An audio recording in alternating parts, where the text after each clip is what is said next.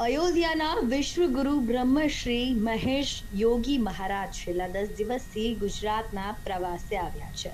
ગરવારે યોગી મહારાજ સુરતમાં પધાર્યા હતા. યોગી મહારાજ સુરતના વિવિધ કાર્યક્રમોમાં હાજરી આપશે અને બુધવારે સવારે યોગી મહારાજ ડિંડોલીની બે વિવિધ સ્કૂલોમાં યોગ શિબિરમાં ભાગ લેશે. ત્યાં આવનારા લોકોને માર્ગદર્શન આપશે. આ ઉપરાંત ડિંડોલી વિસ્તારમાં ચાલતી ભાગવત કથામાં પણ મહેશ યોગી ઉપસ્થિત રહેશે મહેશ યોગી મહારાજના નામે સાત થી આઠ વિશ્વ રેકોર્ડ પણ નોંધાયા છે આ અંગે મહેશ યોગી મહારાજે પત્રકારો સાથે વાતચીત કરી હતી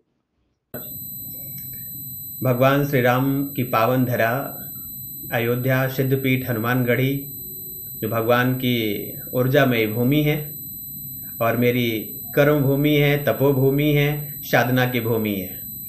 तो अयोध्या की पावन भूमि जो मेरी निवास स्थली है, मैं स्वामी महेश योगी आज इस गुजरात में सूरत की पावन धरा पर हूँ। तो भगवान श्री राम की और हमारे आराध्य श्री हनुमान जी महाराज की कृपा सभी पर बनी रहे।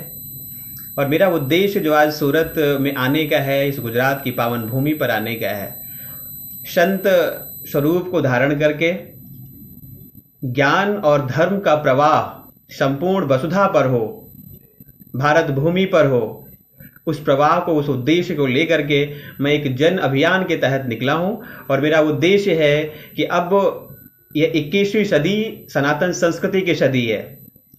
धर्म के उत्थान की सदी है। भारत को पुनः विश्व गुरु के रूप में परिवर्तित करने वाली सदी है। तो हमारे युवाओं में वह शक्ति है। हमारे युवाओं में वह चरित्र व्याप्त है, जो स्वामी विवेकानंद की चरित्र रही है। तो अब हम स्वामी विवेकानंद के चरित्र को आत्मसात करें। देश का प्रत्येक युवा उनके चरित्र को आत्मसात करे और भारत को दिव्यतम स्वरूप प्रदान करें। भारत को आरोग्य बनाएँ और भारत को विश्व गुरु के रूप में परिवर्तित करें। मेरा आने का उद्देश्य है। आप दो संत हैं भारत को ज्ञान के दृष्टिकोण में आप किस रूप में देखते हो? भारत ज्ञान के दृष्टिकोण में वैभवशाली रहा है समृद्धशाली रहा है। भारत ज्ञान के दृष्टिकोण में ही सोने की चिड़िया रही है क्योंकि भारत विश्व गुरु रहा है। हम तक्षशिला नालंदा विक्रमशिला जैसे महान विश्वविद्यालय के निर्माता रहे हैं। भारत में जब ऋषि सत्ता रही तो एक एक ऋषियों ने निक, भारत से निकल करके संपूर्ण वसुधा पर मानवता को स्थापित किया है। ज्ञान के दृष्टिकोण से अगर हम देखें तो हमारे एक ऋषि महर्षि पतंजलि बन करके निकलते हैं और संपूर्ण वसुधा में को आरोग्य कर देते हैं, संपूर्ण वसुधा के कण कण में योग को व्याप्त कर देते हैं। हमारे एक ऋषि कड़ाद बन करके निकलते हैं, संपूर्ण दुनिया को विज्ञान दे देते हैं। हमारे एक ऋषि चाणक्य बन करके निकलते हैं, एक ऐसे विद्यार्थी का निर्माण कर देते हैं जो पूरी धरती पर जो अपना प्रभुत्व स्थापित कर लेता है। तो आज हम इस उद्देश्य निकले कि अब हमारी जो आने वाली पीढ़ी है, वो अपने उस ऋषि तत्व को धारण करे। जब हम ऋषियों के सानिध्य में होते हैं तो हमारे अंदर ज्ञान, कौशल, पराकाष्ठा परिलक्षित होती है और ये हमारा इतिहास इसको प्रमाणित करता है। तो ये हमारे आने वाले पीढ़ी में जो हमारे बच्चों की जो नौपौध है, उनके अंदर ये जागृति होनी चाहिए, वो अपने ऋषि तत्व को आत्मसात करें और उसका विजुअल स्वरूप दिखना चाहिए। विजुअल स्वरूप जिस तरह से हम रामचरित मानस पढ़ करके भगवान राम को आत्मसात करते हैं, लेकिन जब उसे हम टेलीविज़न पर देखते हैं, पर्दों पर देखते हैं, सीरियल्स को देखते हैं तो भगवान राम की छवि हमारे हृदय में अंकित हो जाती है। हमारे छोटे छोटे बच्चों में भगवान राम का चरित्र व्याप्त हो जाता है। तो मेरा ये उद्देश्य है और मेरी परिकल्पना है कि हमारा जो एक भारत हो आने वाला जो एक भारत का नव अभ्युदय हो रहा है, उस अभ्युदय में घर घर के अंदर ऋषि तत्व की शक्ति विद्यमान होनी चाहिए।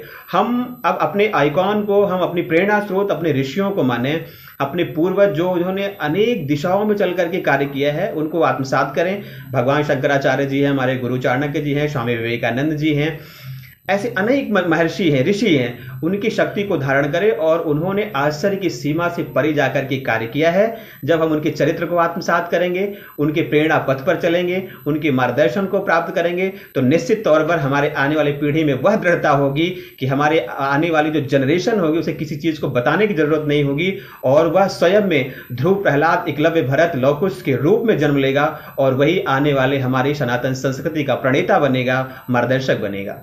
आप आध्यात्मिक व शैक्षिक दृष्टिकोण से आज की युवा पीढ़ी को क्या संदेश देना चाहते हैं? शिक्षा और धर्म ये दो बहुत बड़े आयाम हैं। शिक्षा में अगर धर्म का प्रादुर्भाव नहीं है तो हम, हमारी ज्ञान की जो शक्ति होती है, वो गलत दृष्टिकोण में जाती है। हमारे ऋषि जो थे, वो बहुत बड़े साधक थे। जब वो साधना में बैठते थे तो वो विद्या को अचीव करते थे।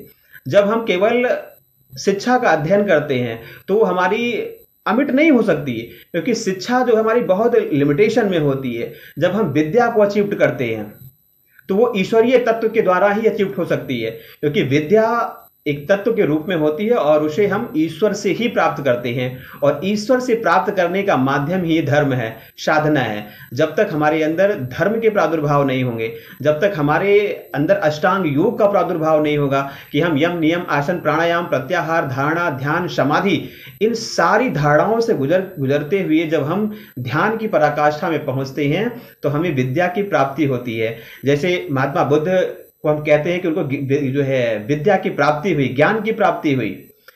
वो साधना का ही आयाम था। तो निश्चित तौर पर अब हम पूरे देश को ये मैसेज देना चाहते हैं, संदेश देना चाहते हैं कि हम अपनी दृढ़ता को प्राप्त कैसे करेंगे, हम अपनी संकल्प को सिद्ध कैसे करेंगे, अपने लक्ष्य और उद्देश्यों की पूर्ति कैसे करेंगे और भारत को पुनः विश्व गुरु के रूप में प्रतिष्ठित कैसे करेंगे, उसके पीछे हमारे दो आयाम बहुत महत्वपूर्ण हैं, ध्यान, साधना और शिक्षा।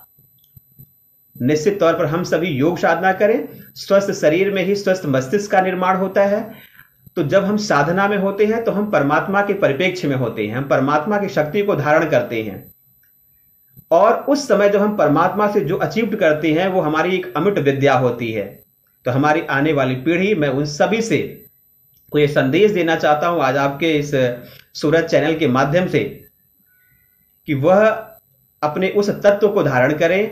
ध्यान में निश्चित तौर पर हर व्यक्ति को कम से कम पाँच, दस मिनट, पंद्रह मिनट मेडिटेशन करें, योग करें और अपने ऋषियों की, अपने पूर्वजों की उस शक्ति को जाने, उनके उस महात्म को जाने, उनके चरित्र को आत्मसात करें और उन्हें अपना प्रेरणा स्रोत मान करके उनके पद चिन्हों पर चलें और निश्चित तौर पर फिर वो उस शक्ति को धारण करेंगे और भारत एक नए अभ्युदय के साथ पुनः विश्व गुरु का स्वरूप धारण करेगा और यह वसुधा पल्लवित होती हुई दिव्यतम स्वरूप को प्राप्त करेगी। यही भारत की जो है अंतिम परिणति होगी और यही पूरी दुनिया को सबसे महत्वपूर्ण संदेश होगा और निश्चित तौर पर हम इस रास्ते पर चलेंगे तो भारत का प्रत्येक बच्चा राम होगा, हमारी प्रत्येक बच्ची देवी के रूप में होगी और भारत का वही स्वर्णिम सदी होगा, जिसकी परिकल्पना के साथ मैं आज गुजरात की भूमि पर आया हूँ और निश्चित तौर पर यह इक्कीसवीं सदी उसको साकार करती हुई दिख रही है।